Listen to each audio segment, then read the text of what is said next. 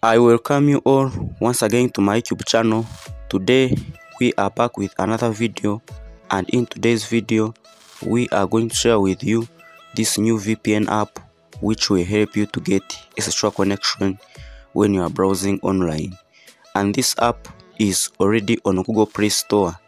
So before we get started, in case you are new on this channel, I recommend you to subscribe like share and comment wherever you don't understand so that you don't miss any of my future videos. So let's get started. You open google play store where you can easily search and download android apps and in the search bar you search for this vpn name which is called amr tunnel pro vpn and this vpn will help you to get a secure connection. Among the presented options you'll be required to pick this one here. You take note of the app name and its icon which is that one. Then after that you'll be required to tap on it. Then after tapping on it you'll be required to install this VPN app in your device. Then after installing it you'll be required to click on the open button to launch this VPN app.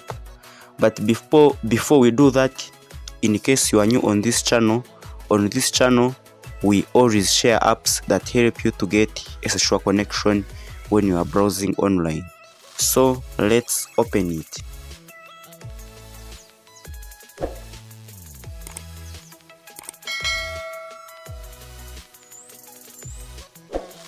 When you reach on the home screen of this vpn app you'll be required to do some simple settings so that this app can provide you with a secure connection.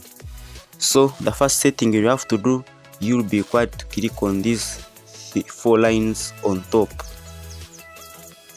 Then among the presented options you'll be required to click on update. This is done to update this app's resources so that you can get the best service while you are using it. Then another setting you have to do you'll be required to pick a server in your location from this box here. So you tap there and you select a server of your choice which works well in your location. But for the purposes of this video i recommend you to leave it in auto select server location so that this app can pick the best server in your location. Then after that another setting you have to do you'll be required to pick your country network name from this box here. So you tap there and in the search network name bar you're going to search for UDP and then among the presented options you'll be required to pick the all country network UDP because it supports all countries or it works in all countries. And if UDP doesn't work in your country you'll be required to change and look for your country network name among the presented list. But for the purposes of this video we are talking about UDP. So you select the all country network UDP.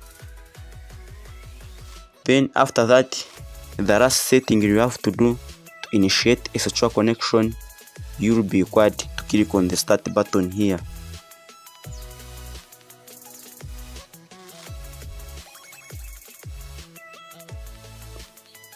As you can see, it has connected successfully.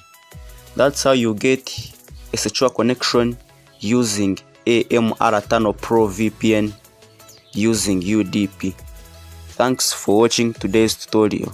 Let's meet in another video. Thank you.